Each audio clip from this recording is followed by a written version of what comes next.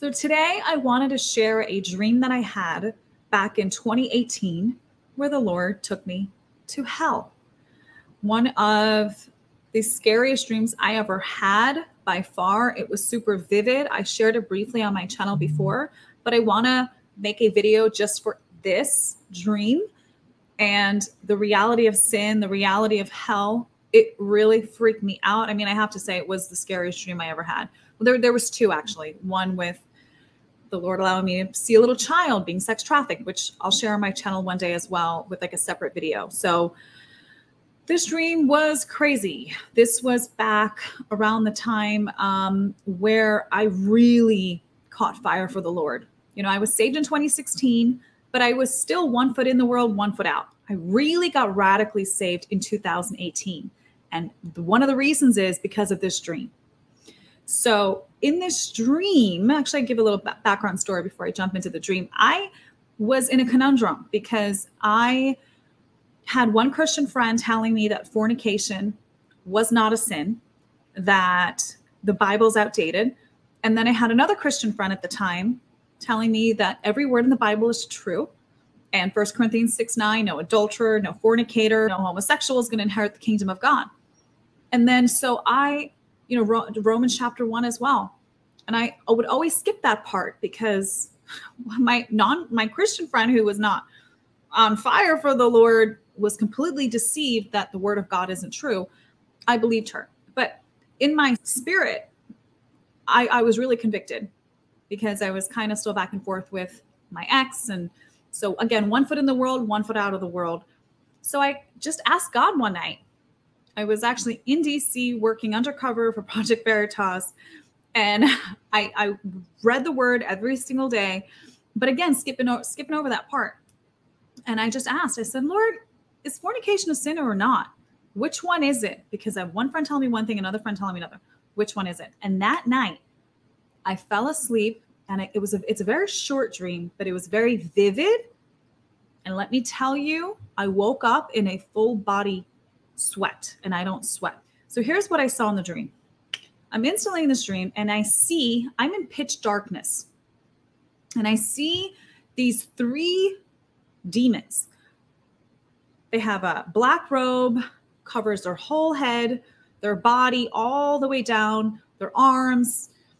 Even though in the dream I saw their face, which was a very demonic, evil face, and I knew exactly who they were, I knew they were demons, I didn't remember their face when I woke up. But in the dream, I did, and I was terrified.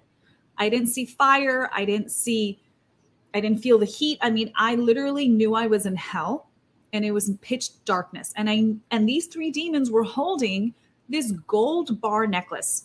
And actually, the chain of the necklace was even bigger. It was like these massive gold chain for that part that holds the necklace. And on the bars, I knew that each single bar that they were holding represented sin. Now, I didn't know what sin it was. I knew each one was holding a sin in their hand and they were tricking me into putting it on.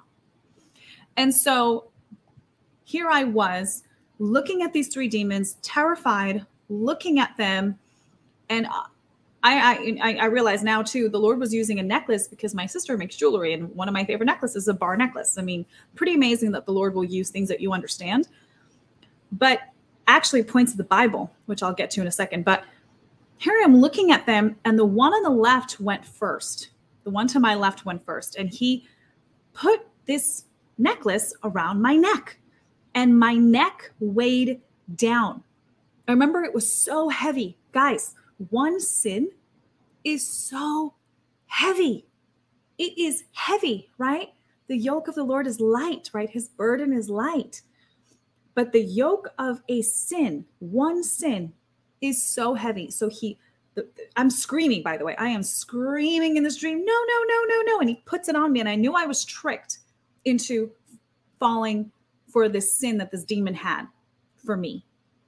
And then my neck i mean i'm already like in the middle. My my my neck is way down. My head is like towards the my, like around my stomach area. It was kind of like a cartoon character where my body's trying to stand right up but my my head was weighed down.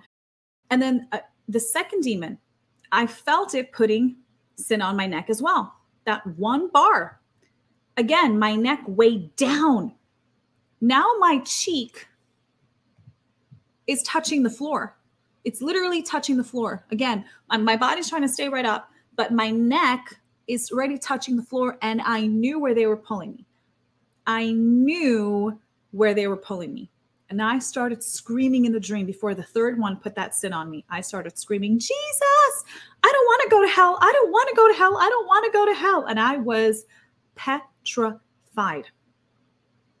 Like I said, one of the worst dreams I ever had felt so vivid. I mean, I was there. I mean, I, I, I it was for me, it wasn't even a dream, even though I know it was a dream. It was like I was there. It was so vivid. And so I remember screaming that, Lord, I don't want to go to hell. I don't want to go to hell. Jesus, I don't want to go to hell. Forgive me. Forgive me. I woke up. Woke up, like I said, in a full body sweat. I am drenched. I'm telling you, I don't sweat. You know, when you when I really really run, okay, fine. But I don't. My t-shirt was soaked, my shorts were soaked, and I could not go back to sleep for a long time. I was up for hours. I remember actually, I pulled up my Bible, turned all the lights on, and out loud I said, Lord, what sin? What sin is this? What sin are they tricking and putting on my neck? Because I don't want to go to hell, Lord. I repent, whatever sin this was, Lord. Forgive me, forgive me, Lord. What sin is this? What sin? And I heard it so clear fornication. Fornication. Whoa. I was honestly shocked even though I was reading in the Bible, and even though I knew in the back of my head, especially when I got saved, I knew every word in the Bible's true. I knew that. But still, I was deceived by a Christian friend who told me that the Bible's outdated. And I'm not blaming her at all because my conscience was telling me stop. Even and and I did very much. I mean, we weren't, you know, I, I separated from him. It was once in a blue moon I'm seeing, but still that one sin is evil in the sight of God. And so, wow, I'm being tricked into hell with fornication. I'm done. Remember, I repented, I was crying, and I said, Lord, I am done. So 2018 was when I made the vow, Lord, I'm waiting until marriage. I'm waiting for my husband, you know, whoever he is out there. Um, I'm done. and by the grace of God, I've been able to be done. Amen. I couldn't do it on my own strength at all. I want to tell you, it is the grace of God. It is literally the grace of God that I don't even want to. I'm good. I'm set free. Um, the Lord set me free. And at that time as well, the Lord set me free to pornography. I used to watch pornography. God completely set me free on that too. Thank you, Jesus. Because let me tell you, that is an open door. That is an open door to not just the devil, to your mind, to your heart, to your spirit. It's an open door and it's sin. Watch your eye gates. Okay, a lot of men are stuck in pornography, women as well. A lot of pastors, even, are stuck in pornography. One thing leads to another. Then you have lust, which is a sin. Okay. Then opens a door to adultery, to fornication. Let me tell you, in this dream, I saw these demons. I saw them. And let me tell you as well, one sin is so heavy. It's so heavy. The yoke of the enemy is heavy. And let, and another thing too, in my own strength, I could not get up. In my own strength, I could not take that necklace of sin off of me. I could not. It was only when I yelled out the name of Jesus. It was only by the blood of Jesus was I set free. Only, only way I woke up and literally laid that down on the altar. I said, Lord, I'm done. I am done. No longer, not worth it. Five minutes, 20 minutes, an hour of pleasure is not worth going to hell for. Not worth it at all. So, wanted to share that dream with you. And also, if you read in the word, it's all over the word where the Lord talks about your neck. In Psalms, even Jesus, the Lord Himself, has talked about put a garment of truth around your neck, well, garment of praise around your head, and a necklace of truth on your neck. It says it all over the word. David even talked about it. David in Psalm 38 4, this blew my mind when I read this. I didn't know this verse until after my dream. For my iniquities are gone over my head. Iniquities are sin. As a heavy burden, they weigh too much for me. This is what David said. For my iniquities are gone over my head. As a heavy burden, they weigh too much for me. Whoa, I read that and I thought, that's exactly the dream. That's exactly what I felt in the dream. It was too heavy for me to carry. It went over my head. It was a necklace of sin. Put a necklace of truth around your neck. Put the garment of praise on your head.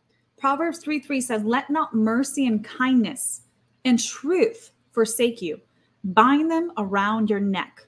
Write them on the tablet of your heart. Bind truth and mercy around your neck. Bind truth around your neck. That's what Jesus said as well. Psalm 38 6. Listen to this. I am bent over and greatly bowed down. I go mourning all day long. This is the same psalm where David is talking about the iniquities and the sin around his neck.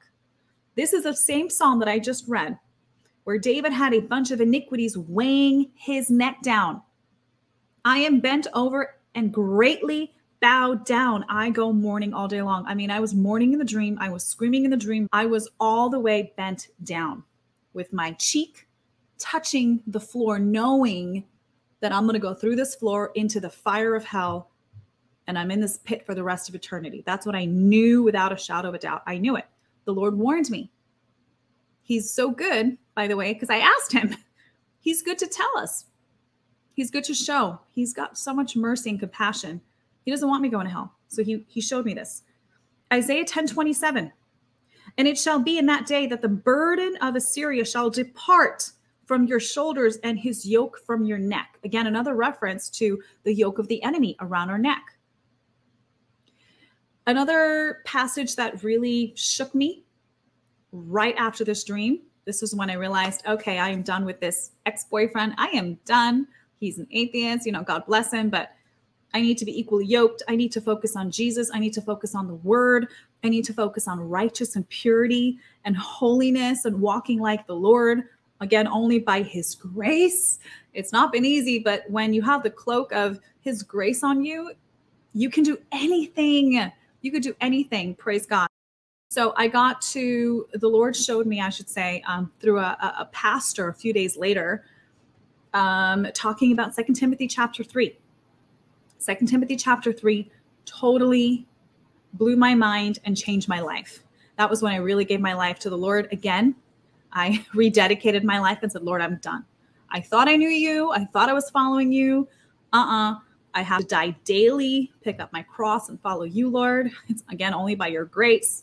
Second Timothy chapter 3, it describes all the different attributes of the latter days and the attributes of the latter day people, which is men will be unholy, unkind, unloving, disobedient to parents, having a form of godliness, but denying the power thereof. The NASB version says, Avoid such men as these, for they captivate weak women weighed down with sins. When I read that chapter a few days after my dream, I thought, oh my goodness, I'm a weak woman, captivated, and I'm way down with sin. Way down with sins. So many that I'm being tricked into, but again, also being disobedient to the Lord, right? I mean, your ignorance is not is not an excuse. When the wicked stand in front of God on judgment day, they're not going to say, Well, I don't know. I don't know. I didn't read the Bible. I had no idea it's a sin. Your conscience tells you it's a sin. That's what says in the book of Romans. Your conscience tells you it is a sin. It is evil. You're not supposed to be doing this. You're not supposed to be having, you know, sex outside of marriage. You're not supposed to be in a same gender relationship. You're not supposed to be sleeping with your neighbor's wife or husband. You're not supposed to be doing that. Your conscience tells you you're not supposed to be doing that. So, by the grace of God, again, he lets us know. But when you're so depraved and you're so full of sin, you basically start losing your conscience. You're so full of demons. You're so, you know, deceived. But again, it's still not an excuse because we know that it's evil to hurt children. But in, in the book of Romans, Apostle Paul says, but we repress the truth because we hate the truth. And I'm not going to say hated the truth, but I was deceived. So I hated the truth at one point, but I love the truth now. That's why it's so important to read the word of God. So, that being said, that is my dream that the Lord took me to hell in. And it was, like I said, a very vivid dream, a dream that I never forgot, a dream that changed my life. So, that's a warning to you. I don't know. Maybe you know someone who's struggling with this. Send them this video because fornication is a sin. It's a sin. Lying is a sin. Stealing is a sin. You steal a pen, it's a sin. But he's so full of mercy and compassion and grace that he can forgive you. So, this is what you do. If you're watching this video right now and you're shaken to the core, oh, you're weighed down with burdens, you're weighed down with the cares of life, you're weighed down with iniquities, it's easy to take it off. You cannot do it yourself, though. It's only by the grace of God, it's only by the blood of Jesus. So, just repeat after me say, Lord Jesus, forgive me of my sins. Forgive me that I was tricked into a sinful lifestyle. Lord, I repent with all my heart. I plead the blood of Jesus on my spirit, on my mind, on my soul, on my conscience. Lord, I want to walk with you all the days of my life. Forgive me my sin, Lord. I confess you, Jesus, as Lord and Savior. I believe that you died on the cross and you rose again in three days. I confess you as my Lord and my Savior in Jesus' name. Amen. And then, Lord, fill me with your Holy Ghost. Fill me with your Holy Spirit. Give me the grace to walk strong. Give me the grace to walk in this walk of faith, this great race that we're on. Give me the grace, Lord, only by your grace in Jesus' name. And He will help you. He will guide you every step of the day. As much as you want to be close to Jesus, He wants to be closer to you. But it's it's on you. It's on you.